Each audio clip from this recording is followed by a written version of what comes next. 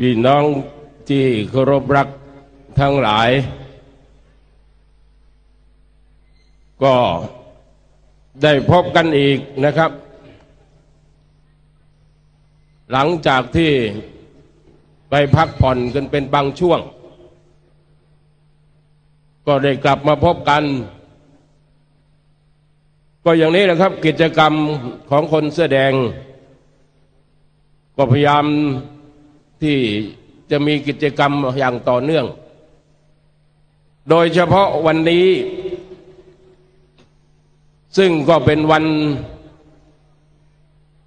ระลึกถึง แต่ก็ไม่อยากให้มันมาถึง ก็คือหกปีของการทำรัฐประหาร เมื่อวันที่ 19 กันยายน 2549 แต่ว่าวันนี้วันที่สิบห้ายังไม่ถึงวันที่สิบเนื่องจากว่าวันที่สิบเก้าเป็นวันทำงาน คือวันพุธ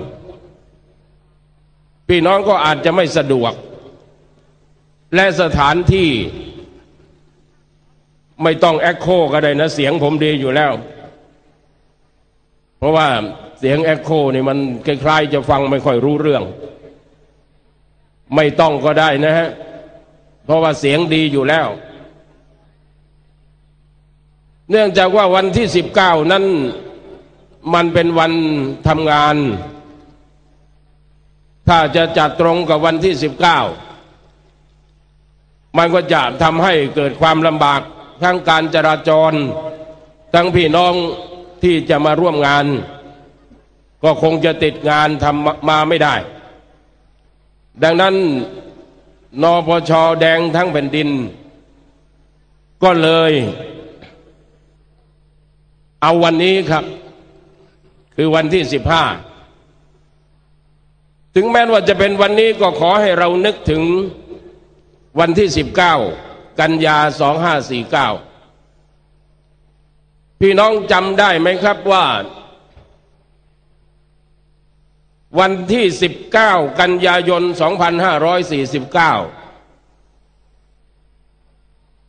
คณะทหารอันประกอบไปด้วย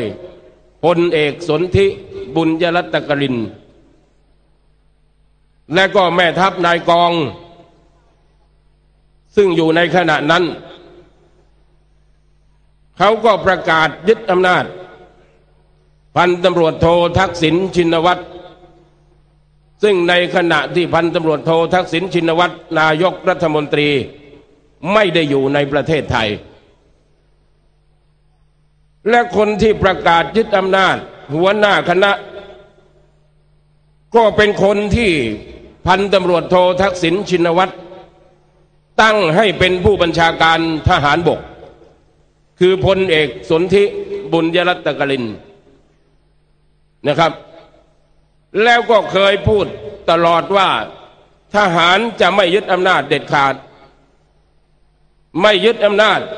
ไม่ทำรัฐประหาร แต่สุดท้ายก็ยึดอำนาจ พี่น้องที่เคารพครับ การยึดอำนาจในวันนั้น มิใช่มีแต่เพียงกลุ่มทหารที่เป็นคนคิดที่เป็นผู้กระทำแต่ได้รวมกลุ่มคนอื่นด้วย ท่านลองย้อนนึกสิครับว่า ก่อนที่จะมีการยึดอำนาจ ได้มีกลุ่มคนกลุ่มหนึ่ง มีนายสนธิลิมทองกุลเป็นหัวหน้า แล้วก็มีพักพวกบริวารเป็นคนของพรรคประชาธิปัตย์ส่วนหนึ่ง มีถึงผู้บริหารเป็นกรรมการพรรคที่ร่วมอยู่ด้วย ออกมาขับไล่พันตำรวจโททักษิณชินวัตร โดยกล่าวหาสารพัดก็พยายามขับไล่ให้ออกไปออกไป มีพักการเมืองที่เป็นพักฝ่ายค้านวันนี้ เป็นทุนในการหาคน เอามาร่วมขับไล่ แต่สุดท้าย ก็ขับไล่ไม่ไป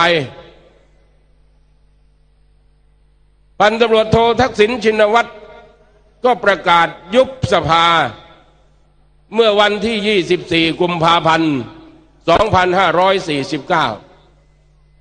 ก็คือยอมถอยครับ เมื่อเขาให้ออกไปออกไปก็ประกาศยุบสภา เพื่อที่จะให้มีการเลือกตั้งกันใหม่ พอยุบสภาแล้วเนี่ย รัฐธรรมนูญกฎหมายเนี่ย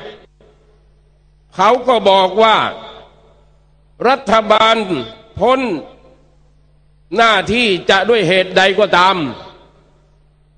จะยุบสภาลาออก หรือจะอะไรก็ตาม นายกรัฐมนตรีคณะรัฐมนตรี จะต้องรักษาการเป็นรัฐบาลอยู่ก่อน จนกว่าจะมีรัฐบาลใหม่ พี่น้องที่เคารพในเมื่อเป็นอย่างนั้น พันตำรวจโททักษิณชินวัตรท่านจึงไม่สามารถที่จะไปไหนได้ เพราะรัฐธรรมนูญกำหนดว่าจะต้องรักษาการอยู่ก่อน จนกว่าจะได้รัฐบาลใหม่ จึงต้องมอบงานให้รัฐบาลใหม่ไป จึงจะพ้นหน้าที่ พี่น้องที่เคารพไอ้พวกขับไล่มันก็ไม่ยอม มีพักประชาธิปัตย์ร่วมด้วย บอกว่าเอา้าให้ออกไป ออกไป ก็รัฐธรรมนูญกำหนดบังคับไว้ ว่าจะต้องอยู่รักษาการก่อนไปไหนไม่ได้ แต่ไอคนพวกนี้ก็ให้บอกไว้ออกไป ออกไป แล้วมันจะออกอยังไงก็รัฐธรรมนูญไม่ให้ออก พี่น้องจำได้ไหมครับ เมื่อไม่ออกมันก็ไปยื่นขอนายกพระราชทาน เพื่อให้ได้นายกคนใหม่ เหตุที่เขาทำอย่างนี้เนี่ยครับ เนื่องจากว่าเขาเห็นว่า ถ้าเลือกตั้งเขาก็แพ้ ไม่สามารถจะสู้พันตำรวจโททักษิณชินวัตรได้ เขาก็จึงจำเป็นจะต้องให้ทักษิณออกไป อย่าให้มีอยู่ในประเทศไทย พี่น้องที่เคารพ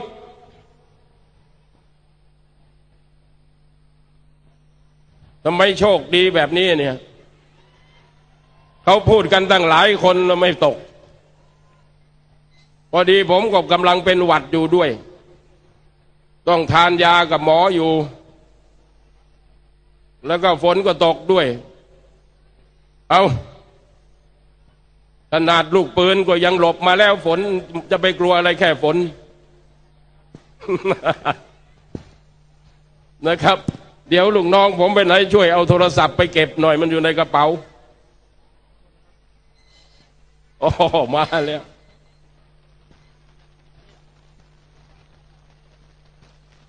ครับพี่น้องครับ อ้าว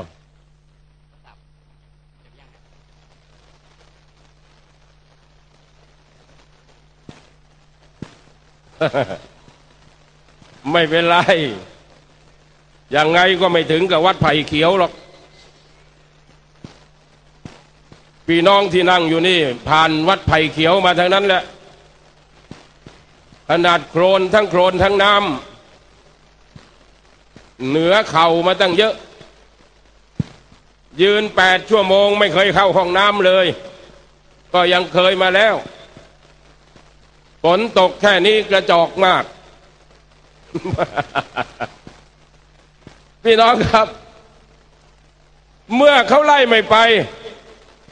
แล้วก็ไม่รู้จะไปยังไง มันก็ไปขอนายกพระราชทาน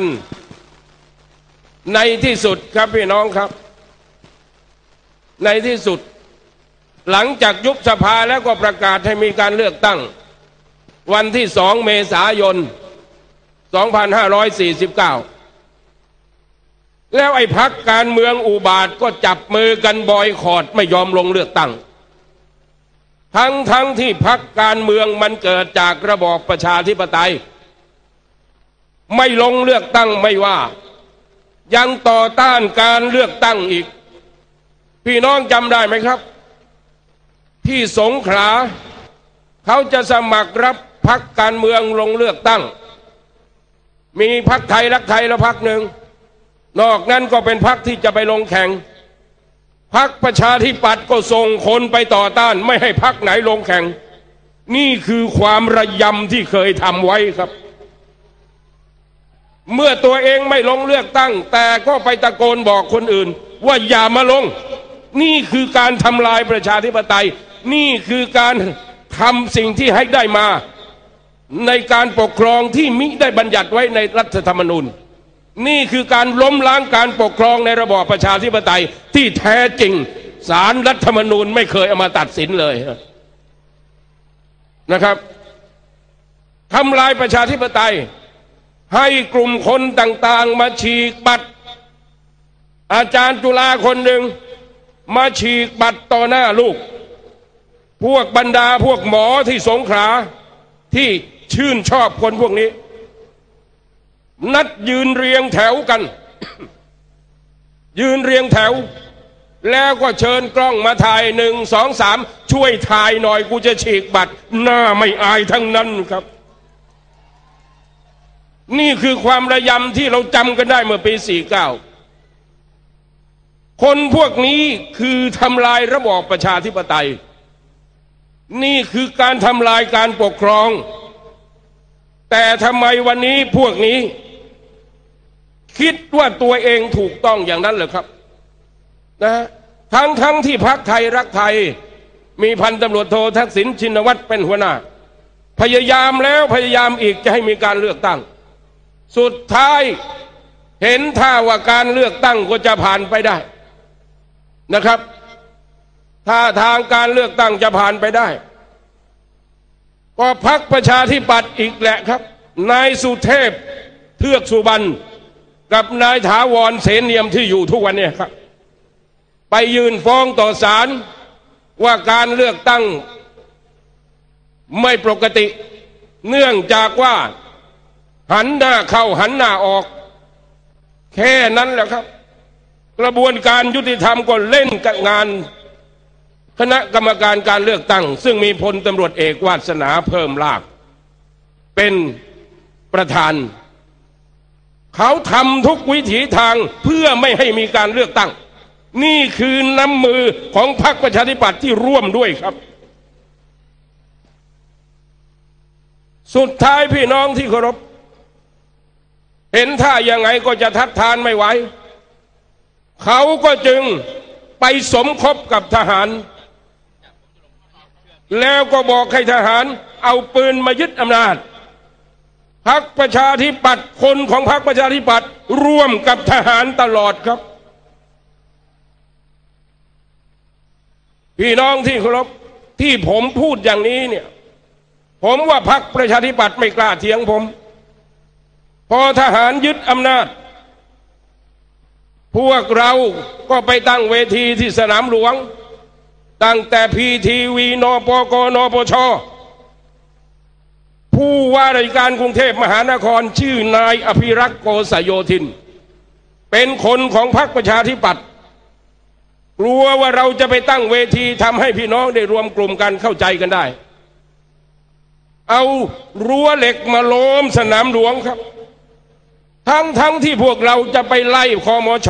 ไม่ได้ไล่พักประชาธิปัตย์ นี่คือเป็นประจักษ์พยานว่าพักประชาธิปัตย์เนี่ยร่วมมือกับพวกเผด็จการทุกรูปแบบเพื่อให้ได้มา ซึ่งเป็นรัฐบาล นี่เมื่อหกปีที่แล้วครับ เมื่อหกปีที่แล้ว พี่น้องที่เคารพจำได้ไหมครับ ก่อนที่จะมีการยึดอำนาจ เดือนสิงหา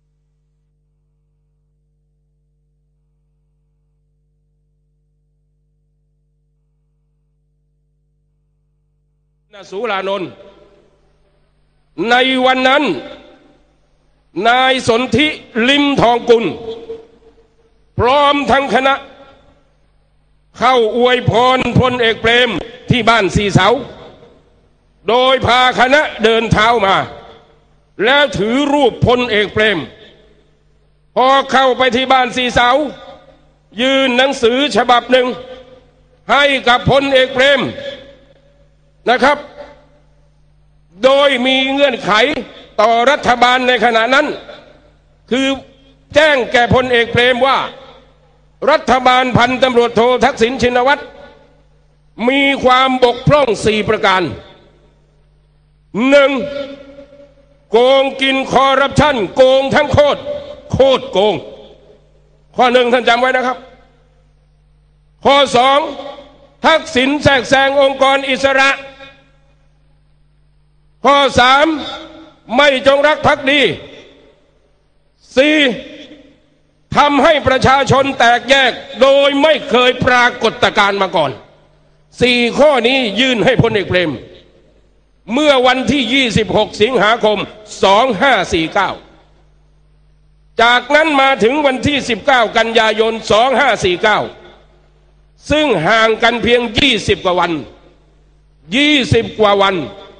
พลเอกสนธิบุญยรัตกริน ยึดอำนาจจากพันตำรวจโททักษิณชินวัตร แล้วก็ให้เหตุผลสี่ประการเช่นเดียวกัน ว่าจำเป็นต้องยึดอำนาจ เนื่องจากว่ารัฐบาลพันตำรวจโททักษิณชินวัตรหนึ่งโกงกินคอร์รัปชันสองแทรกแซงองค์กรอิสระสามไม่จงรักภักดี สี่ทำให้ประชาชนแตกแยกโดยไม่ปรากฏการมาก่อนสี่ข้อเหมือนกับนายสนธิลิมทองกุลไม่ผิดเลยครับ แสดงว่าสนธิบุญยรัตกลินลอกแบบมาจาก สนธิลิมทองกุล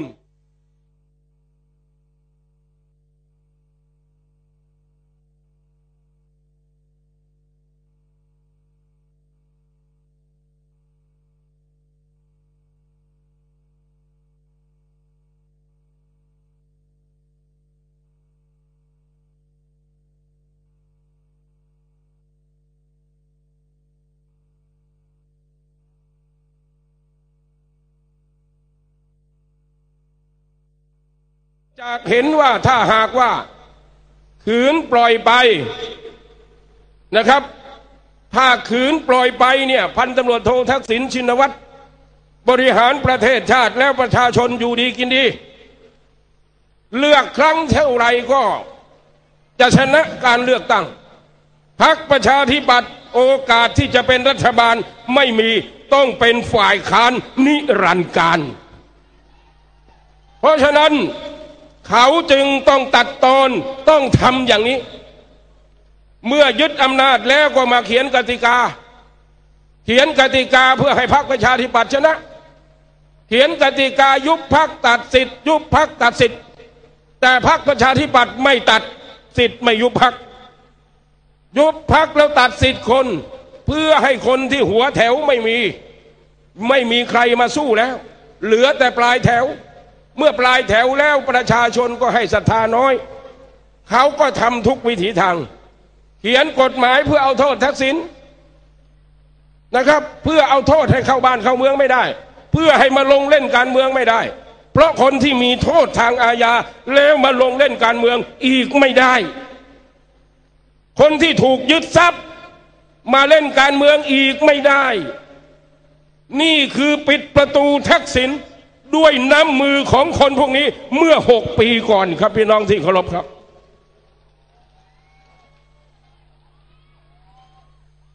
ไอการที่บอกว่าหนึ่งโกงกินคอร์รัปชันและรัฐบาลต่อมารัฐบาลนายอภิสิทธิ์โกงหรือเปล่าเล่า ขนาดปลากระป๋องยังโกงแล้วอะจำได้ไหมปลากระป๋องเน่า แล้วมันกลับไปชื่นชมกันไอ้คนโกงปากกระป๋องเน่าไปรัฐมนตรีที่จังหวัดอุบล ลาออกครับ ทนอายไม่ได้โกหกไปโกหกมา ลาออก ไอ้คนในพักยนิยมชมชอบบอกว่ามีสปิริต เห็นไหมฮะปลากระป๋องยังโกงทุกอย่างก็มีข่าวโกงทั้งนั้นนี่แหละครับ แล้วทำไมไม่ยึดอำนาจบ้างล่ะนะครับ แทรกแซงองค์กรอิสระ บอกทักษิณแทรกแซงองค์กรอิสระ แล้วก็มายุคนี้องค์กรอิสระมันตั้งกันเอง มันจะแทรกแซงหรือเปล่าล่ะงั้นน่ะก็ตั้งเองแท้ๆครับ สวก็ยังตั้งเองครึ่งสภา อะไรอะไรก็ตั้งเองทั้งนั้นแหละ แล้วอย่างนี้ไม่แทรกแซงแล้วครับ อย่างนี้เขาเรียกว่าเป็นเจ้าของเหรอ ไม่จงรักภักดี ถามว่าไอ้เสื้อเหลืองที่ใส่กันนะปี 2549 9 มิถุนายน ใครเป็นคนคิด จากการจงรักภักดีมิใช่หรือ ที่คนใส่เสื้อเหลืองกันทั้งเมือง ตัวละหลายพันยังซื้อใส่แต่ที่ไม่ใส่ก็เพราะไอ้พวกนั้นมันย่ำยีหมดแล้ว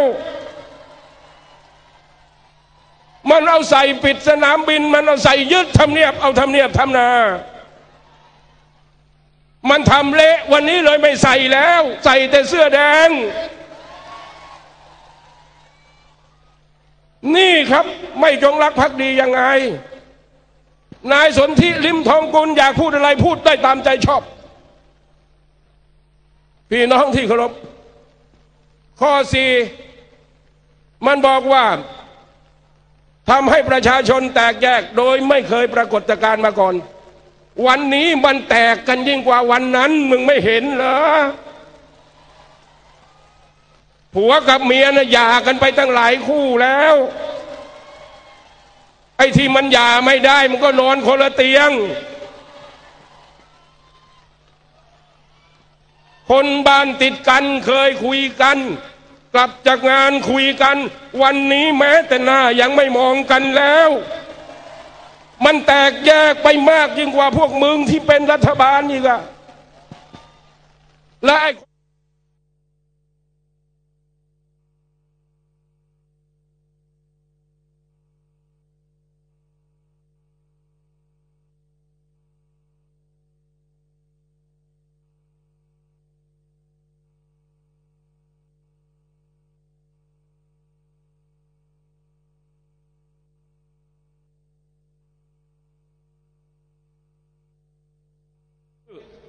ถูกต้องแล้วนะครับ ที่ไปถอดถอนกันนะนี่แหละครับพี่น้องที่เคารพไอ้หกปีที่ผ่านมาเนี่ย มันมีกากเดนอะไรที่เหลือดีอยู่บ้าง ว่ายึดอำนาจแล้วจะดีขึ้นหกปีนี่ย่ำแย่นี่ยิ่งรักนี่โชคดีนะยิ่งรักมาจะมาช่วยกู้ขึ้นนะ่ะถ้าปล่อยให้เวรพวกนั้นอยู่มันยิ่งแย่กว่านี้ใหญ่ครับ และเพราะฉะนั้นอยากจะฝากทหารไว้ช่วงสุดท้าย อย่าคิดยึดอำนาจเลย ไม่มีอะไรดี ไอตัวคนยึดอำนาจพลเอกสนธิบุญยรัตกลิน ไปไหนก็ไม่มีคนมอง อยู่ในสภาก็ยังไม่มีคนไหว้ครับ นี่เรื่องจริงนะฮะพลเอกประยุทธ์จันโอชา ท่านเดินถูกทางแล้ว นะครับ เป็นทหารของประชาชนเสีย อย่าทำเด็ดขาด แล้วจะแย่ยิ่งกว่าพลเอกสนธิไม่มีอะไรดีขึ้น ฉะนั้นพี่น้องที่เคารพวันนี้เนี่ย เรามาระลึกถึง แต่ถ้าวันนี้มันระลึกถึงแล้วฝนก็ตกฟังไม่ค่อยถนัด ก็อยากจะเชิญไปวันที่ยี่สิบ นี่แหละวันพฤหัสหน้าเนี่ยนะครับเชิญไปที่โน้นอำเภอสอยดาวบ้านผม บ้านผม จัดวันที่ยี่สิบก็จะจัดอย่างนี้แหละครับ แกนนำก็ไปกันเพียบ นี่ประธานวีระมุสิกพงศ์รับปากแล้วครับ คุณวิภูแถลงพัฒนภูมิไทยวรชัยเหมะ ก็ทั้งหมดนี่แหละครับนะแล้วก็มีคอนเสิร์ตด้วย คิดว่าฝนไม่ตกครับ วันที่ยี่สิบคอนเสิร์ตก็มีนักร้องลูกทุ่ง นักร้องรุ่นใหม่ไอรุ่นเก่าก็รุ่งเพชรแหลมสิงตัวจริงไม่ใช่ผม ตัวจริง ๆ เจ้าของเสียงเพลงฝนเดือนหกก็ไปวันที่ยี่สิบ ที่จะถึงนี่นะครับ อย่าไปยี่สิบเดือนหน้า เดี๋ยวหากันไม่เห็นยี่สิบกันยาเนี่ยก็ตะวันพาดยอดไม้ขนาดนี้แล้วก็เริ่มปลาใสเริ่มร้องเพลงกันแล้ว ส่วนรุ่งขึ้นอีกวันหนึ่งวันที่ยี่สิบเอ็ดตรงกับวันศุกร์จัดมวยชิงแชมป์เลยสี่คู่ มวยแชมป์ไทยชกกับรองแชมป์ฟิลิปปินส์ สี่คู่ แถมด้วยมวยไทยราคาเงินล้านอีกสิบคู่ เอาพี่น้องจันทบุรีดูกันให้เต็มที่ ฟรี สตังค์ไม่ต้องเสียเบี้ยไม่ต้องจ่าย ฟรีทั้งหมด ชินวัตรหาบุญพาดประกันคุณภาพยี่สิบพบกันครับ ขอบคุณมากครับพี่น้องครับ